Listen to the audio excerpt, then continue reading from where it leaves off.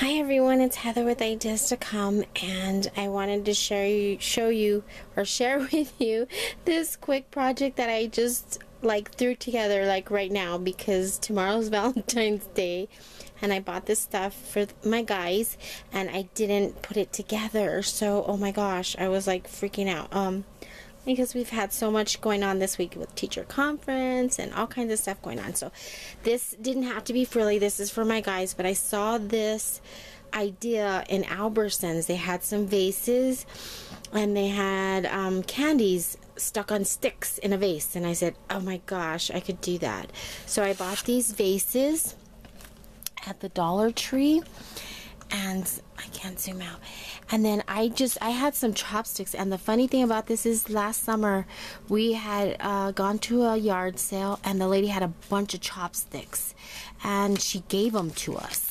So I I was like, okay, and didn't know what I would do with the chopsticks, but um, now I do. I use them to put the candies on. And then after I put the candies on, I stuck these little stickers on from K & Company because this doesn't exactly have to be nicey nice because it's for the guys. They don't really care. Um, and um, they do care about getting something though. And it, I just threw some candy hearts in there. And I also got those at the Dollar Tree.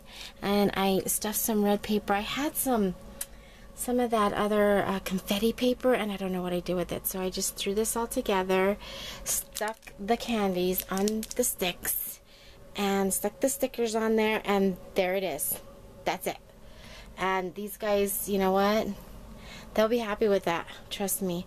But it, it does kind of look kind of interesting and just to give you an idea if you want a quick fix um, that's mine for my guys and I'll let you know what they think about it. And hopefully I can download this video sometime you know this week. Thanks to you all for watching. I appreciate you and thank you to those of you that leave me comments. I really really love getting your comments. And I will talk to y'all soon Bye for now.